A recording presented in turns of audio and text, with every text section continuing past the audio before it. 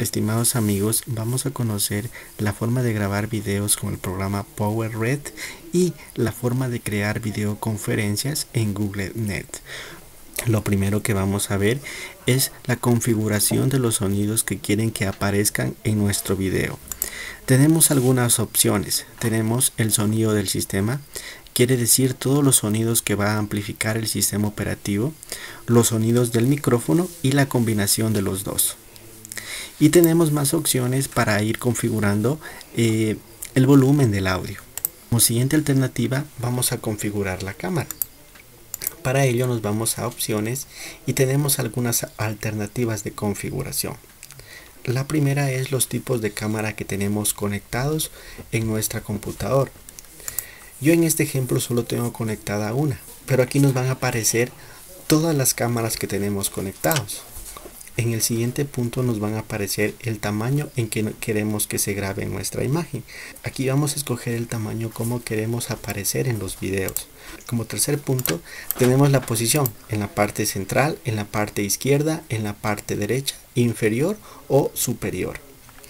Y por último tenemos la forma en que queremos aparecer con nuestra cámara. Si queremos aparecer como este círculo que estoy ahora o con este cuadrado que me salgo ahora.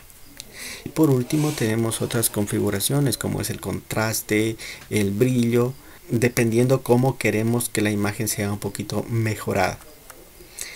Esto es en cuanto a la configuración del PowerRed. Seguidamente vamos a configurar reuniones o conferencias en Google Net. Para ello nos dirigimos a Google Chrome y digitamos la página calendar.google.com. Esperamos unos segundos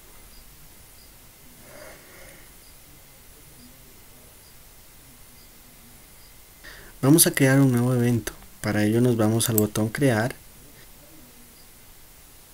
y se nos visualiza el siguiente cuadro de diálogo donde están todos los parámetros que necesita un evento o tarea programada. El primero es el título del evento. Seguidamente la fecha y la hora. Si queremos invitar a personas a nuestro evento, basta con ir ingresando los correos electrónicos de las personas en este apartado.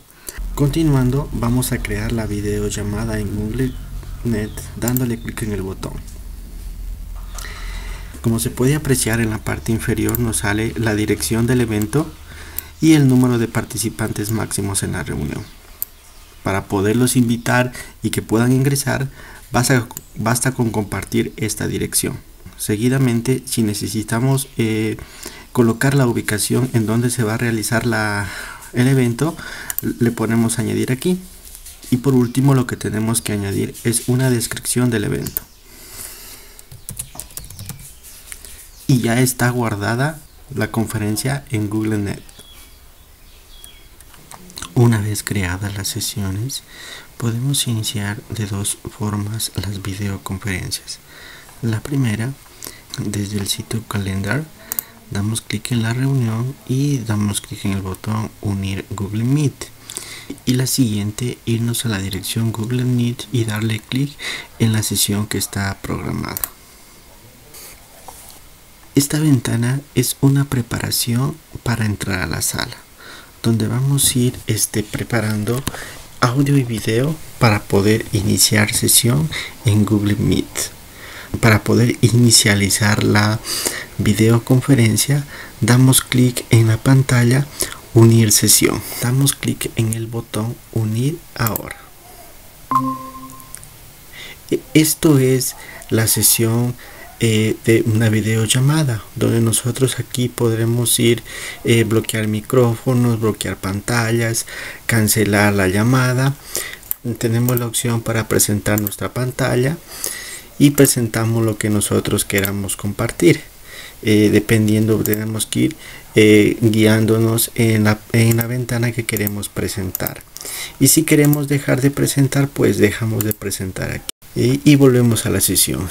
En esta sección tenemos la opción de los participantes. En este momento todavía estoy yo.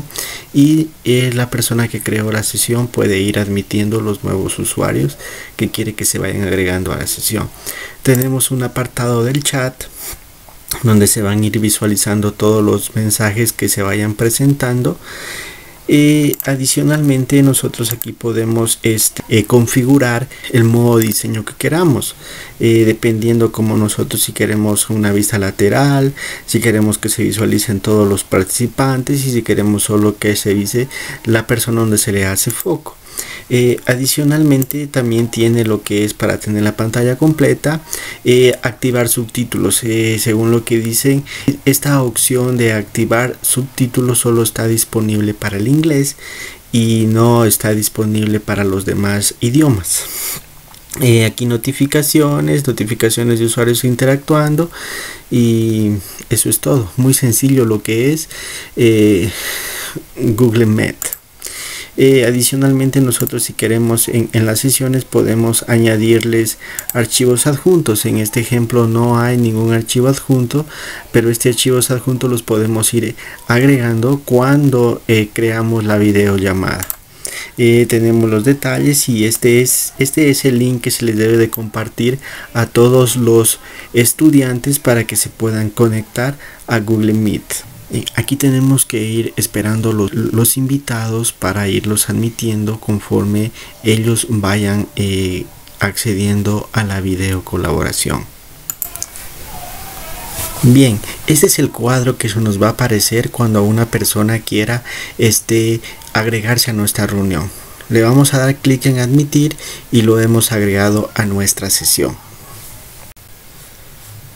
Como ustedes pueden observar, eh, aquí tenemos ya dos participantes y van a ir agregándose los, los participantes como vayan eh, incorporándose a la sesión.